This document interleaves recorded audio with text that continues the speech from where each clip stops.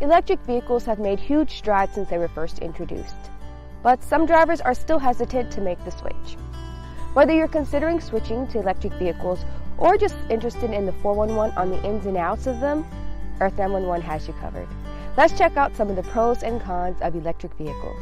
One of the benefits of electric cars is that they're easier on the environment. They have no exhaust system, which means they produce zero emissions, which means cleaner air for you and me. Another benefit is that electricity is cheaper than gas. Electric vehicles run on one third of the cost of gas powered vehicles. And solar panels can also lower your cost by harnessing the sun to power your vehicle. Another pro to electric vehicles is that maintenance is less frequent and less expensive. Electric vehicles have zero oil, so no oil changes. And brakes don't wear out as fast because the engine slows the vehicle to produce electricity. Another benefit to electric vehicles is that they're very quiet.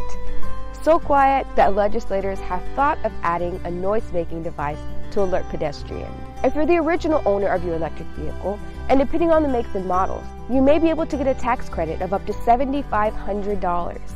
And last, but certainly not least, electric vehicles could shorten your commute. Can you say carpool lane?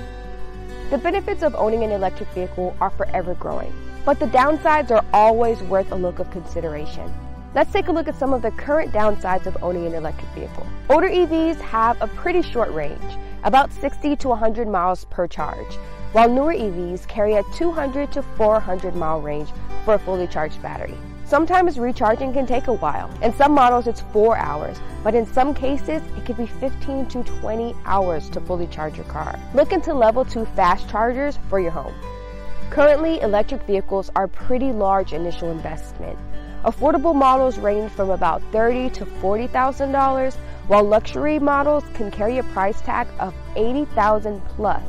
Charging station availability is inconsistent. In areas where EVs are rare, charging stations may be near non existent. And currently, there are just fewer choices. Options are growing, but at this time, variety is very limited. With any major decision, weighing the pros and cons is important, and that's no different when it comes to electric vehicles. Let us help you make an educated decision. Visit earth911.com for more information on electric vehicles. Have a green day.